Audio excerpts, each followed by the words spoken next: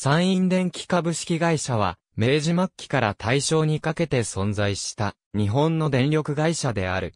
中国電力ネットワーク管内にかつて存在した事業者の一つ。現在の鳥取県米子市にあった電力会社で米子市を中心とする鳥取県西部並びに西に接する島根県安来市などを供給区域とした。開業は1909年。1926年に広島県の広島電機と合併し解散した。1894年、岡山で岡山伝統、広島で広島伝統が相次いで開業し、中国地方でも電気事業が始まった。山陰側でも1895年10月に島根県松江市にて松江伝統が開業する。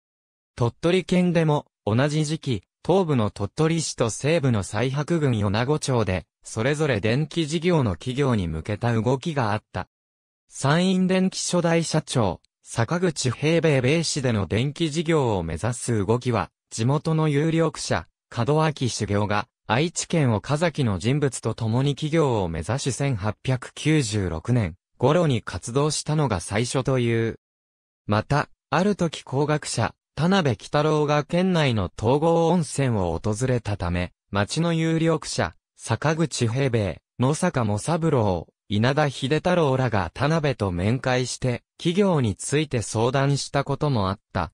これらの動きは、気がこなさず直ちに企業にはつながらなかったが、日露戦争後の企業ブームの中で、芝浦製作所の仲介で発電所の位置決定など、準備が進行する。1906年7月には、事業出願し、翌1907年9月その許可を得て、同年12月21日、山陰電気株式会社の設立に至った。山陰電気の発起人は、坂口平兵衛、野坂も三郎、稲田秀太郎、門脇茂雄、船越清太郎に、坂口の一族二人を加えた計七人。その中から坂口平兵衛が、社長、坂口武一と門脇が、常務取締役に就いた。また、渡辺志水が、米子町長から、山陰電気支配人に転じた。設立時の資本金は20万円で、全4000株のうち1200株を公募しており、設立時は800株を持つ坂口平弁を筆頭に、合計150人の株主がいた。最初の本社は、米子町小高町に1520番地に置かれた。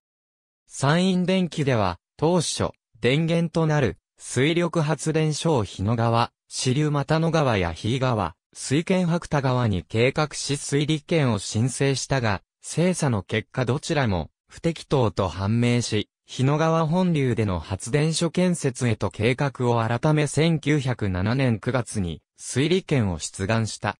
発電所は会社設立と同じ同年12月に着工。水路トンネルの難工事のため工期が伸びたが、1909年7月に土木工事、同年10月電気工事がそれぞれ完了した。発電所は、朝日発電所といい、日野郡朝日村大字荘に立地。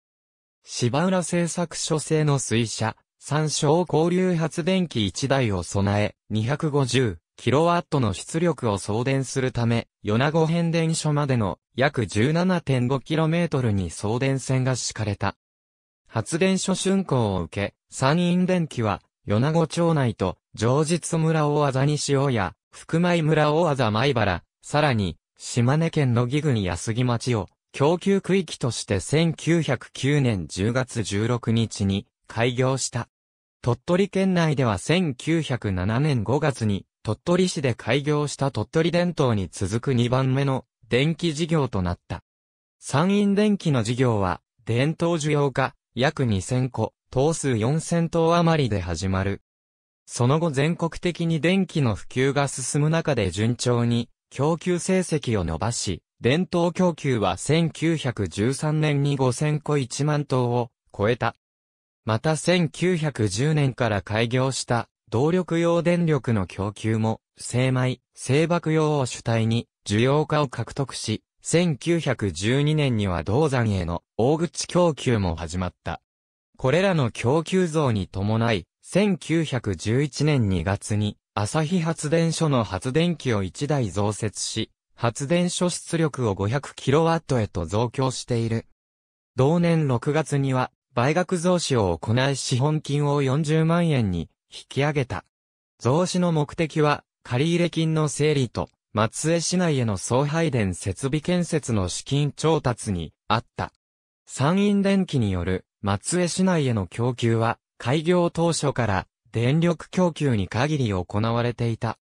当時すでに松江電灯があり、同社が松江市内の供給に当たっていたが、電源が小規模な火力発電所しかないため限られた供給力を電灯供給に向けて1909年に電力供給を中止していた。その穴を山陰電機が埋めたのであるが、山陰電機はさらに1910年5月30日付で、松江市内における伝統供給の許可も取得した。こうした山陰電機の松江進出の動きを、松江電灯は深刻な脅威であると捉えた。その理由は、料金の大きな格差にあった。水力発電を電源とする山陰電機の伝統料金は、住職等で月額60銭、16食等で、月額85銭であった。一方、火力発電を電源とする松江電灯は、燃料石炭価格の高騰もあって1906年に、10食等で、月額1円50銭、16食等で、月額1円80銭という全国的に見ても高い、電灯料金に改定していた。山陰電機の進出に対し、松江電灯では、同社からの受電を試み1910年初頭より交渉を持つが、両社が主張する供給料金に大きな開きがあり、契約成立に至らなかった。ついで5月に山陰電機が松江市内における伝統供給許可を得ると、松江電灯は同年10月より対抗措置として伝統料金を半額に引き下げた。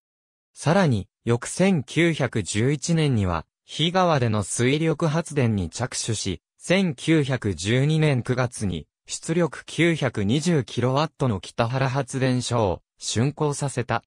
短期間で松江電灯が水力発電への転換を実現したことで、山陰電機の松江進出は抑止された。結局、北原発電所竣工に先立つ1912年5月23日付で、両者間に営業に関する協定が成立する。協定により、松江電灯が向こう20年にわたって、半年ごとに1125円を山陰電機に支払うのと引き換えに、山陰電機は、松江市内並びに隣接する八塚郡、津田村、野木村で、電灯、電力供給を一切しないこととなった。1919年2月、山陰電機は2番目の発電所として日野川に出力 1000kW の NO 発電所を新設した。所在地は日野郡江能村で季節朝日発電所の上流側にあたる。ついで朝日発電所の水路拡張、設備更新工事に着手し、1921年5月に出力を 500kW から 2000kW へと増強する。さらに1925年11月には、最初の火力発電所として、米子町灘町に、出力 1000kW の米子発電所を新設している。発電力増強の一方、供給面でも1920年代に入ると、周辺事業者の相次ぐ統合による供給区域拡大が見られた。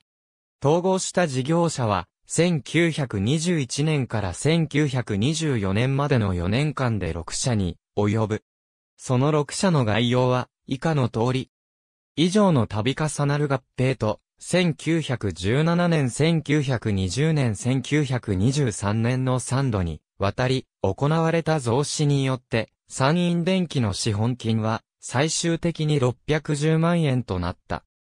供給成績についても大きく伸長しており、1926年、上期の供給成績は、電灯数10万5712灯、一般電力供給1833馬力、電気事業者に対する電力供給1284キロワットに及んだ。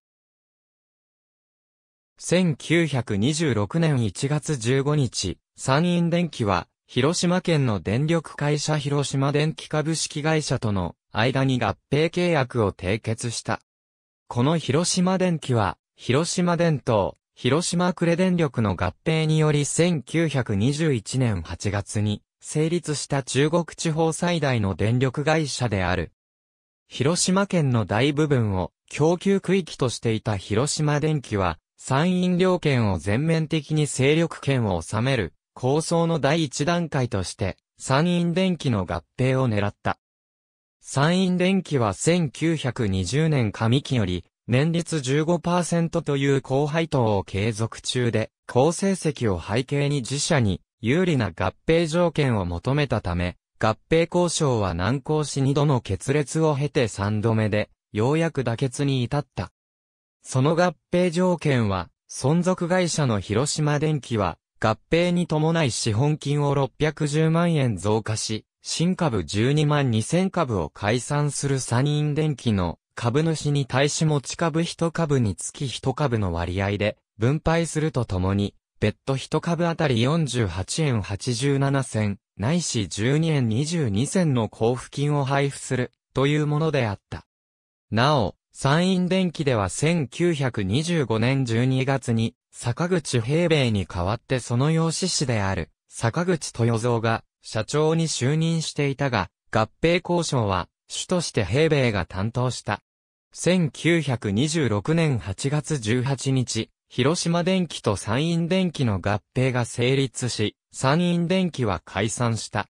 合併に伴い、広島電機では、米子に山陰支社を開設する。